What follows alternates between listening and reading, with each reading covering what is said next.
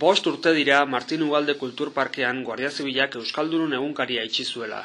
Berria egoera horri erantzunez sortu zen herritarren babesarekin.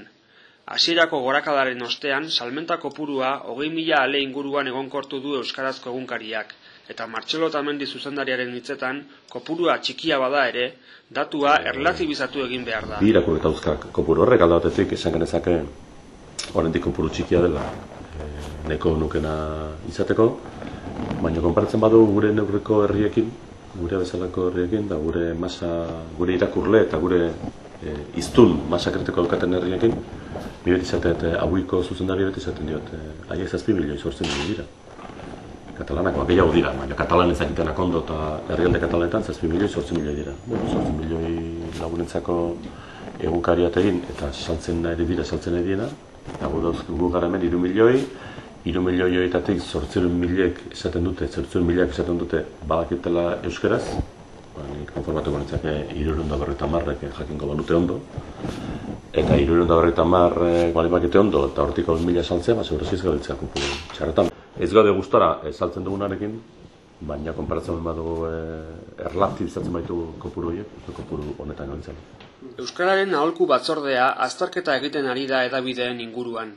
Otamendik ez du begionez ikusten erabilitako metodologia, Bere ustez, administrazioko arduradunek sektorea hobeto ezagutu beharko lukete ondoren irakaspenak emateko. No, e, ni jaso nuen gonbidapena e, txost, horre txoston bat egiteko. Ni asko harretu nintzen, e, kaldetu nunean zeintzu ziren beste txosten gileak, ez ziretelako esan nahi izan. Zitu, nik ez ditut ulertzen metodologia horiek. Esate izute zuri sektoreak nahi dugu lan. Eta eskatu dizugu txosten bat zuri eta beste emeretziri ere bai, denan hartan hogei. Ez, kuriosidadez galdetzen duzu eta zintzu dira beste txosten egileak, eh? Mitza izeko lan gertatu txosten bat eskatuta ere zezata zintzu dira. Ez ez dugu esango. Ja, asieratek itzai da asko gustatu metodologi hori.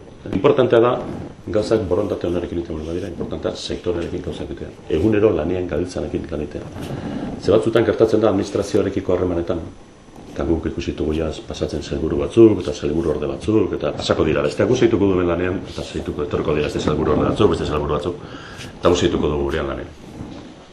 Eta batzutan, e, daukazu sensazioa administrazioarekin zaudenean, e, administrazioan izenean dauna, maiaren bestalden dauna, dauka joera lezio emateko. Gozan nola inberdien. Neiz eta sekulan ez diren egon sektorean, lezio emateko joera dauz.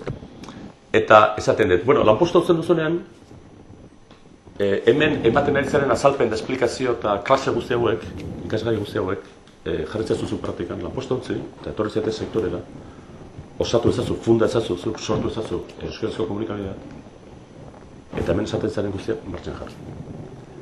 Eta ondo atatzen bali da proiektua, eta arrakastatxu, bali mazabiltza, eta sekulako salmenta bali mazazu, orduan, nik aitortu gizut, republikoki, arrazio okazu, oso beren zaren lanean, eta zure irizpideak eredu garri dira. Internet eta paperaren arteko harremanak ere izan ditu izpide berriako zuzendariak. Oraingoz, publizitatea eta dirua paperezko edizioetara doala nabarmendu du. Bestalde, bosgarren urte hurrena ospatzeko, ekainaren hogeita batean ekitaldia antolatu dute donostiako kursalen, eta horren arira, ukitu batzuk egingo dizkiote egunkariari. Oraingoz negozioa gurean, paperean dago.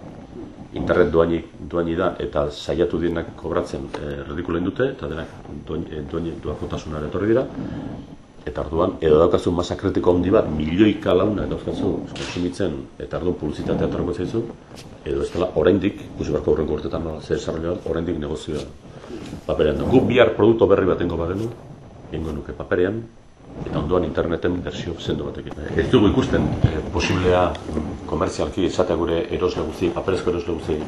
Pasa zaitez horrein denak, eh, urtarren batetik aurrera, guazen dena interneten. Itxiko du papera, itxingo, itxin barko nuke negozioa itxi marko nuko nozio horrengo. Beraz, badaula hortarako joera, oso ondo, joerarekin batera, hasiko gar gure momentuak egiten. Baina ez dugu ingo momentu bat zarerik gabe. Ez dugu txunean momentu bat ingo. Ingo ditugu momentu bat, joerarekin batera, ez gara sekulan itzindari izango, guruak hortako dut, eta joango gara, joera soziologiko egin atzitik. Horein hau inbar dela, ingo du. Ukitu batzuk egongo dira. E, gero, mardulagok izango dira aldaketak e, urrian, baina mardulagok edo, mami gehiagorekin, baina orain ukitu batzuk engo dira. Engo ukitu batzuk e, e, pelikoan, bat ipate diseinuan da lako elementutan. Baina ba, oinarrezko pelikoak bere hortan zaituko du, baina ongo dira dotoretu ingo dugu pelikoan.